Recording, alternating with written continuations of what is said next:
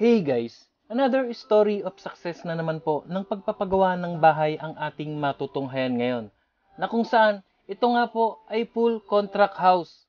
Guys, ito po ay may tatlong kwarto, toilet and bath, at yan nga ay kasama na po ang garahe at kanilang mga gate.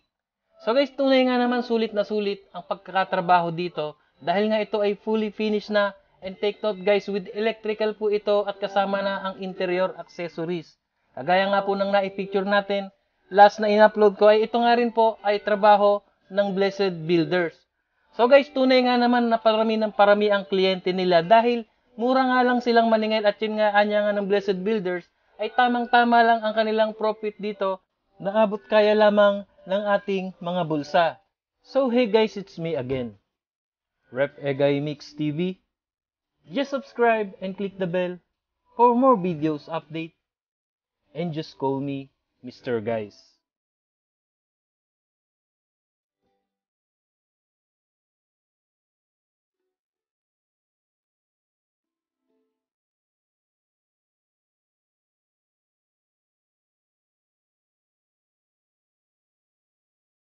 So guys, ito na nga po ang ating pag-uusapan muli.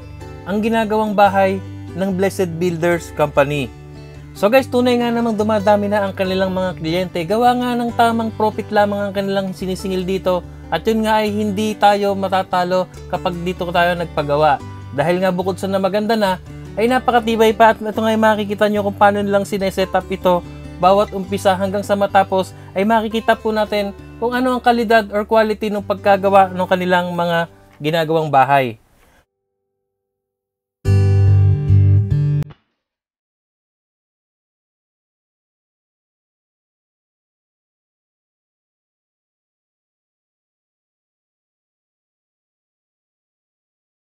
So guys, bali ang sukat nga po pala ng bahay na ito ay 85 square meters ang kanyang floor area.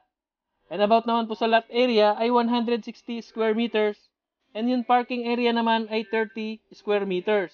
At ito nga po ay may tatlong kwarto, kitchen and dining area, living room, isang toilet and bath, at isang powder room.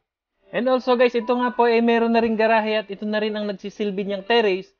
At yan nga ay kasama na rin po ang kanilang gate. So yun nga guys, ito ay sulit na sulit talaga at yan nga ay matatagpuan sa Magalang, Pampanga. Ito po ang location ng bahay na ito. And also guys, pwede na nga natin kontakin ang Blessed Builders at sila ay sasagot sa inyong mga katatungan. And also guys, pwede kayong mag-inquire if ever na malapit kayo dito, ay pwede na kayong gawaan at magkasundo kayo, ay magkakaroon na kayo ng transaksyon na gawaan ng inyong pinapangarap na bahay.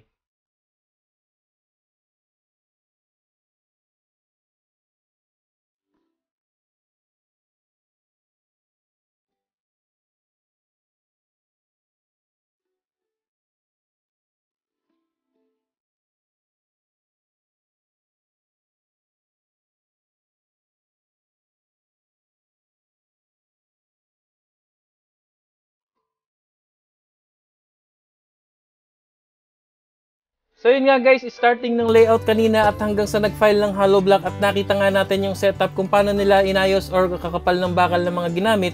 At yan nga hanggang sa ito ay dumating na sa puntong biga and as of now nga is meron na nga po silang bubong na kung saan ay ginamit nga dito ay color roof and steel trusses. And also guys, ito na nga at unti-unti na nilang pinapalitadahan, pinifinishing and as of now is naglalagay na nga po sila ng spandrel.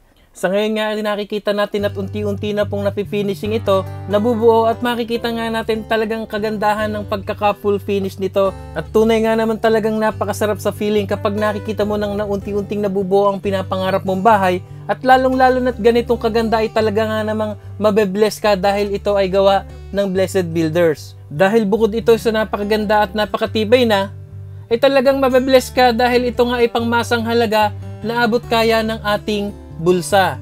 So guys, ito na nga at makikita natin ang kabuuan ng bahay na ito. Talaga nga namang sulit na sulit ang gastos dito dahil sa sukat ba naman ang laki ng bahay na ito ay kasama na ang garahe, pati gate at lahat ay fully finished. Wala ka nang iisipin pang sakit ng ulo. Everything is alright. Lilipatan mo na lang.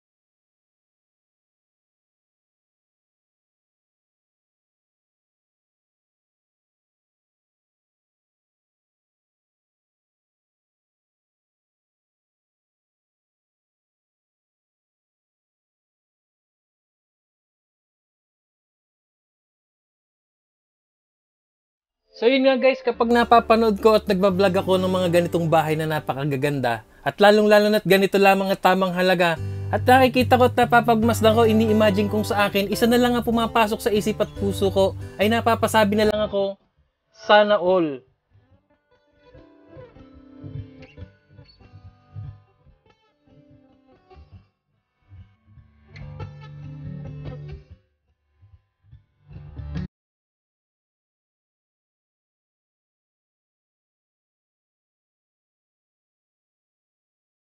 So guys, ito na nga ang kabuuan ng bahay na ito at nakikita natin, may garahe at kasama na nga po yung gate dito including lahat-lahat, labors and materials, sa madaling salita ay full contract, 85 square meters at ito nga, lahat-lahat ay nagkakahalaga ng 1.5 million pesos. Lahat-lahat na po yan, package na wala ka nang iisiping iba pa, wala ka nang sakit ng ulo, titirahan mo na lang. So yun nga guys, 1.5 million, meron ka ng ganitong napakaganda at napakalaking bahay. And also once again, congratulations po sa inyo, ma'am and sir, sa owner ng bahay na ito. And also, Blessed Builders, sa another client satisfied na naman po na ginawa nyo ng bahay na tunay nga namang sulit na sulit ang ginastos dito. So yun nga guys, any thoughts and suggestions ay just leave a comment lang po dito sa ating comment section. And also guys, ipipin ko po yung number ng Blessed Builders at kung may katanungan kayo at gusto nyo mag-inquire ay tawagan nyo lamang po siya at yan na isasagutin kayo at ipapaliwanag sa inyo ang bawat inyong mga katanungan. So yun nga guys, maraming salamat po muli sa inyong panonood. Sana ay na-inspired at may natutunan tayo sa vlog na ito. Lalong-lalo na na-bless at na-motivate upang makapagsimula or nakapagpagawa na rin tayo ng ating pinapangarap na bahay. So ikaw kapatid, kung na-bless at na-inspired ka dito sa vlog na ito ay mag-subscribe ka na agad at i-click ang notification bell para ma-update ka sa mga bagong videos natin about sa pagpapagawa ng mga bahay at may halong inspirational video at ito ay hango at tungo sa buhay na nagpapagawa ng bahay at ito'y ihahatid sa inyo ng buong buo ng inyong lingkod, Ref Egay at ng ating kaibigang si Mr. Guys. So maraming salamat po muli sa inyong panonood.